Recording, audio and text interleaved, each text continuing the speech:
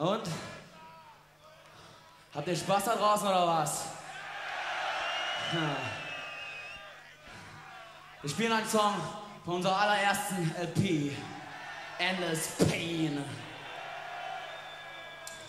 Ich bin mir sicher, dass einige von euch da draußen dieses Stück kennen.